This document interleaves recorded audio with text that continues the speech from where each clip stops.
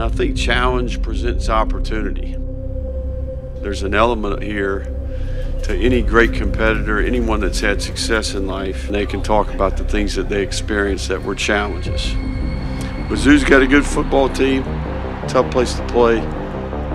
It's important that we uh, are action oriented. Being physically ready, being mentally ready, being emotionally ready. All right, to go out there and put it on the line. We're going to put it on the line again when we go to Missouri. I got my back! I got your back! Got my back! I got your back! The shotgun snap. They're blitzing again. Throws on the quick slant. Caught by Wilson. Comes inside. 10, 5, touchdown. Gators. Trapped up and sacked at midfield.